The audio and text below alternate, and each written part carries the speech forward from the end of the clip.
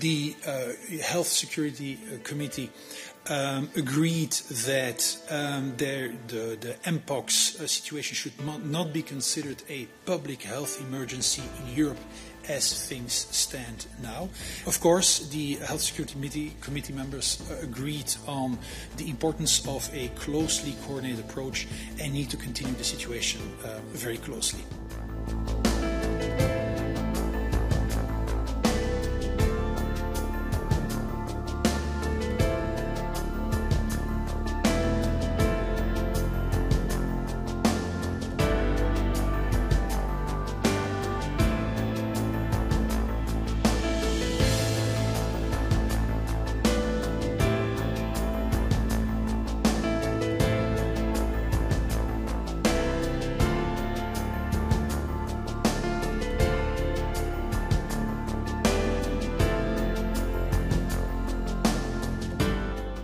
As far as we are concerned, sorry, as we are concerned, uh, we have our uh, last joint framework contract, which allows us to purchase up to uh, 2 million um, doses.